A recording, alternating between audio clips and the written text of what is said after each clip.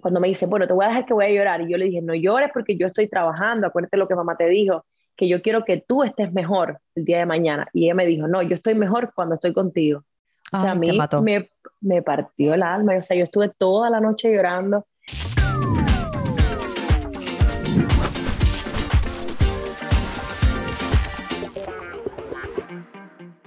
Nada, desde, desde que a mí se me ocurrió la idea de crear el podcast, la primera lista, hice una lista de las mujeres que quería entrevistar, que yo admiraba, que, que sabía que las hermanas podían sacar provecho de la conversación, de sus experiencias y tal. Y te lo juro que el primer día que escribí mi lista estabas tú entre las primeras personas, de verdad. Ay, Cami, Así que estoy muy feliz, te lo juro. Sí, sí. Entonces, para comenzar con el tema de hoy, quería preguntarte el concepto que tienes de familia pero que no los pudieras decir quizás a partir de experiencias personales. Por ejemplo, para mi familia es que mi mamá me esperara cuando yo terminaba de trabajar a las 4 de la mañana cuando llegaba a la casa, o estarme sintiendo mal y que mi abuela me pasara el brazo por la espalda. ese tipo de cosas, ¿no? ¿Para ti qué es? A partir de estas experiencias, digamos, sencillas de la vida. Mira, yo soy siempre de, yo he sido siempre muy, muy, muy familiar. De hecho, en mi casa vive mi mamá, mi abuela, mi esposo, eh, una que ya es parte de la familia que me ayuda a cuidar a Sara porque desgraciadamente por el tiempo eh, mi abuelita ya estaba muy viejita y mi mamá eh, estaba... Está... Óyelas, óyelas. ¿Estás viendo? ¿Ves?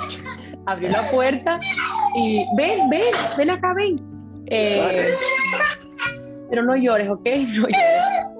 Ay, me encanta que pase esto. Saluda, ven. Un episodio así. Hola, mi corazón, qué cosa más preciosa. Saluda para que te oigan, que aquí no se va a ver, se va a escuchar nada más. Di hola, soy Sara. Ay, hola, soy, una, Sara. Soy, soy, una princesa dolida. Di voy con mi tío Pau Pau y ya regreso, ¿ok? Ya regreso. Ay, dale helado. Ay, me encanta, qué linda. Ay, qué bella es. Tiene, tiene un ángel, Sara. Todo el mundo lo dice. Tiene un ángel esa niña. Bueno, tus dos hijas, que son preciosas, son súper diferentes, pero las dos tienen un ángel muy bonito, de verdad. Eh, deja a la perra. Dime algo, chica. Que... Dios mío, esto es un no parar. Soy imprescindible en mi casa. Mira, para contestarte eh, de lo que estábamos hablando, para mí, bueno, yo siempre he sido muy familiar y siempre me ha fascinado el levantarme por la mañana y tomarme el café con leche lleno de gente, ya sea mis amigas, ya sea mi familia. Eh, digo mis amigas porque mis amigas casi siempre están aquí. De hecho, en la cuarentena, Josie se quedó conmigo la cuarentena entera y yo te quedas aquí conmigo a dormir en la casa. Eh, yo cuando llegué a este país, eso era una de las cosas que, que a mí me, me, tenía muy triste, que yo llegaba a la casa y no tenía ese calor familiar, ese, oye, lo hiciste bien, o, cuando las cosas no estuvieran tan bien, que estuvieran ahí para mí.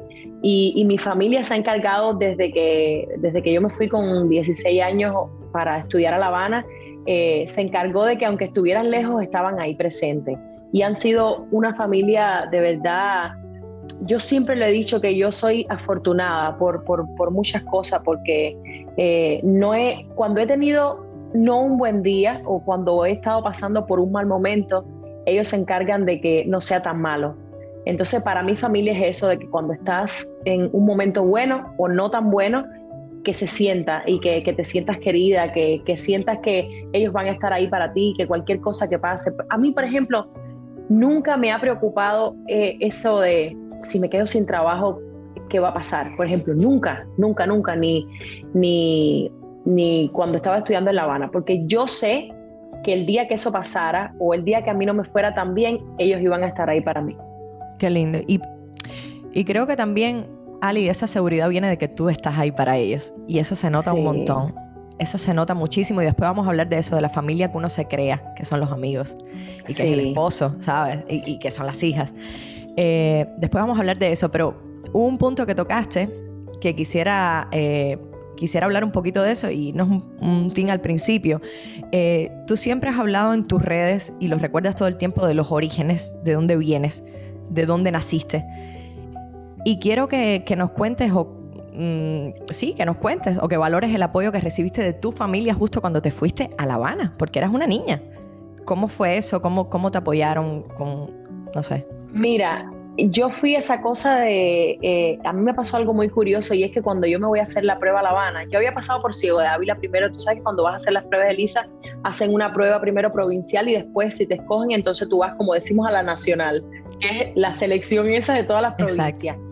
Y cuando yo me fui para La Habana, eh, mi, mi, familia estaba rota completa porque mi mamá y mi papá se habían acabado de separar, mi mamá estaba súper triste, eh, todos en la familia estábamos desgarrados, sí, desgarrados de verdad. Y, y las cosas de la vida, cuando yo llegué a La Habana, que hice el examen, y que aprobé, yo creo que esa fue la luz que faltaba en mi casa. Yo regresé y mi mamá ya era otra.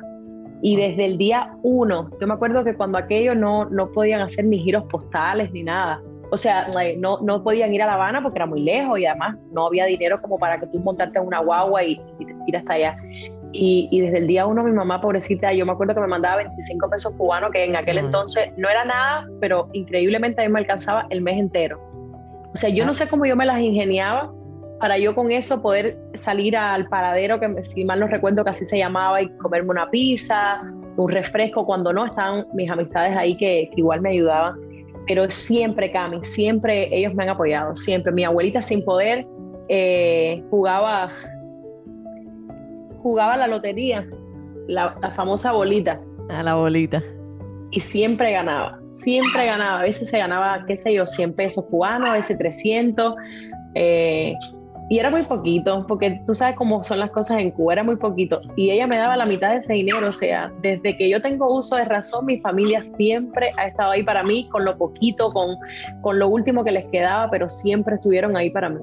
Qué lindo, Ali, qué lindo. Qué lindo de verdad, y eso se respira muchísimo, incluso de lejos, por la pantalla del teléfono, se respira totalmente. ¿Cuál tú crees que ha sido la etapa donde tu familia te ha dado el mayor empujón? mayor familia Yo creo que cuando vine en el 2007, porque ellos sabían que, yo no me sentía tan bien estando solita aquí. Y, cuando aquello no había FaceTime, no había llamada, no había recarga, no había nada. Y, y yo creo que en ese momento ellos estuvieron presentes, ya fuera por teléfono, ya fuera por carta, eh, me hacían saber diariamente que no estaba sola. Yo creo que en esa etapa que era cuando, cuando peor yo estaba y cuando más triste me sentía. Ali, ¿y hay algún momento donde tú hayas sentido que no te hayan apoyado o que no hayan estado ahí? Si ha pasado o si, si lo quieres contar, por supuesto. ¿Mi familia? Sí. No, nunca, nunca ha pasado. Ay, mi madre regresó. Tú después puedes editar esto. o no, pero si estamos hablando justamente. Ay, por favor, yo quisiera que ustedes vieran. No come el labio. No, yo no me puedo comer el labio. yo quisiera que ustedes vieran los cariños. Ahora le está dando a Ali. La abraza y la besa. Mira, un momento en el que yo he sentido que mi familia no me ha apoyado, ahora. ¿Dónde está mi familia para que se lleve a Sara? está mi familia? ¡Pau, pau! Ay, qué lindo. ¡Mami! No la dejen ir más. Estoy en vivo. No te preocupes. Ay, qué cómica. Y ella se escapa y entra y entra. Entra porque la tienen ahí en la sala y ella se les escapa. Qué cómica, qué cómica. Entonces, nunca, nunca has sentido que, no ha habido un apoyo, digamos, siempre han estado ahí para ti. Siempre han estado ahí para mí, de verdad. Creo que, creo que si, si me pongo así como a recordar, yo creo que como cuando tenía como 16 años, que mi mamá no quería un novio que yo tenía, en ese momento no se me apoyó. Creo que es lo único que recuerdo sí que yo decía, pero ¿por qué? Si este va a ser el amor de mi vida, porque tú sabes que a esa edad es que uno, ese va a ser el padre de tus hijos, ese va a ser el que va a estar contigo el resto de la vida. Yo creo que en ese momento, cuando único no, no se me apoyó en mi casa. ¿Y, y, cómo, ¿Y cómo sobrepasaron eso? ¿Cómo lo, cómo lo manejaron? ¿Qué hiciste? ¿Qué hicieron? Facilísimo. Yo estaba estudiando en La Habana y yo venía a Santi Espíritu. Y entonces, creo que la primera vez me escapé y no le dije, le dije a mi mamá que llegaba como al otro día y mentira, llegaba el día antes. Y entonces, eh, creo que nos fuimos por, como para un lugar, no me acuerdo, o para su casa, no recuerdo bien y mi mamá no quería porque habíamos pasado como por ciertas situaciones con él que no estaban bien. Ya eso lo aprendes cuando eres mayor. Claro. Y, y, ella no quería que yo estuviera con él. Y entonces un buen día, o sea, discutimos porque yo sí quiero, mami, porque él es el amor de mi vida, papá. Y, y un buen día ella me dijo, haz lo que tú quieras, suficiente para que en tres días yo dijera, no, esto no es lo que es para mí. es, esa fue la forma de que, de que aprendí. Sí, vive tu experiencia y ya me contarás. Totalmente. Así, así mismo. Así me hacía mi mamá a mí. Me hace todavía. Ok, haz lo que tú quieras, ya me contarás. Y es que yo, eso, lo, eso yo lo aprendí, por ejemplo, con ella, que, y, y, también pasa, pasa mucho con los, con los jóvenes. Yo digo, mami, yo le voy a dar a Sofía la misma crianza que tú me diste a mí. Yo, por ejemplo, mis amigas me dicen, ay Dios mío, cuando llegue la etapa de la juventud, que los niños aquí hacen droga, yo les dije, mira, yo voy a hacer exactamente lo que hizo mi mamá conmigo, las mismas, los mismos consejos que me dio, yo los voy a utilizar. Si no me funcionan, qué mal, pero a mí me funcionaron lo como, de la forma que ella me crió. Eh, así que eso es lo que yo me voy a guiar por su crianza, pero aprendí que no se le puede imponer nada a los hijos, porque entre más le impones algo, peor es. Bastó que ella me dijera, haz lo que tú quieras, no me interesa, sufre, ah, esa es tu vida, para que yo dijera, ay, es verdad. Y no pasó ni una semana. Que entre más ella me decía, no, no, no, no, era cuando más yo, yo quería ir a la. Más empecinada. Eso siempre pasa, sobre todo con esa edad. Sobre todo con esa edad. Y ahora está, bueno, está, mencionaste a Sofía y, y, quiero hablar un poquito de, de, tus hijas, ¿no? Porque actualmente creo que estás viviendo otro momento de crecimiento, de despegue en tu vida. Eh, solo que la familia ha variado. y tienes a Robe, eh, hace años, que es tu esposo. Tienes tus dos niñas. Eh, que aunque puede que no entiendan al máximo por la edad que tienen cómo es el apoyo, inconscientemente yo creo que sí lo hacen.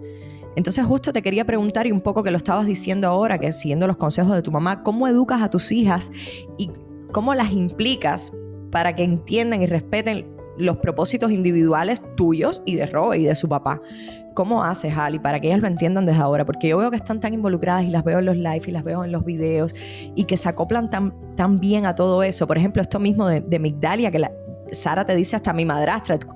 ¿Cómo tú lo Yo no sé ni por qué ella se le ocurrió eso, te lo juro. Yo les repetía a ella, pero, pero jugando, ¿no? Soy claro. madrastra, pero, pero una niña de dos años. A mí no se me va a ocurrir nunca que ella me lo iba a decir así. Ella sabe que cuando yo me pongo la peluca, ella me dice madrastra y cuando así es, mamá, no sé, eso, eso le nació a ella.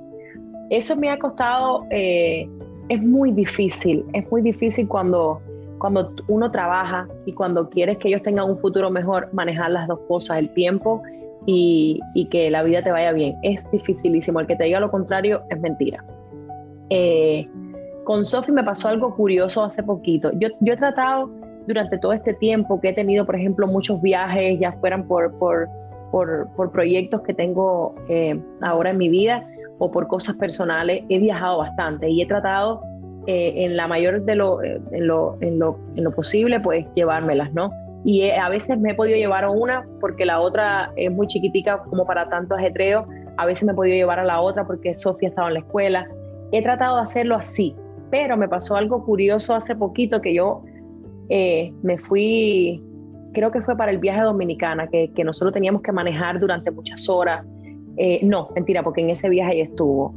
Eh, fue un viaje, uh, no me acuerdo, fue un viaje que ya no fue, hace muy poquito, hace, no hace ni un mes de esto. Sí. Eh, porque últimamente, no me recuerdo porque últimamente he estado bajando un avión y montándome en, en otro. Y en la noche, como a las 11 de la noche, ella me estaba pasando mensajes, te amo mucho, ella siempre me pasa mensajitos así. Y yo le dije, yo te amo también, mi amor, ya nos vemos mañana. Y ella me dijo, bueno, te voy a dejar porque ya voy a empezar a llorar, porque ella es súper sentimental. Yo siempre trato de llevármela a ella. Sara no, Sara no le importa nada. Sara y yo estuve ahora mismo, todos, estuvimos los dos, dos semanas fuera.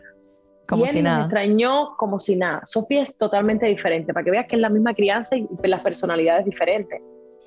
Y cuando me dice, bueno, te voy a dejar que voy a llorar, y yo le dije, no llores porque yo estoy trabajando, acuérdate lo que mamá te dijo, que yo quiero que tú estés mejor el día de mañana. Y ella me dijo, no, yo estoy mejor cuando estoy contigo. O sea, Ay, a mí me, me, partió el alma, o sea, yo estuve toda la noche llorando y, y me cuestiono cada dos segundos, estaré haciendo bien, estaré haciendo mal, eh, esto es por ellas, pero, pero realmente vale la pena. O sea, es muy complicado cuando tienes hijos porque te dicen cosas como esas y, y, y eso te afecta.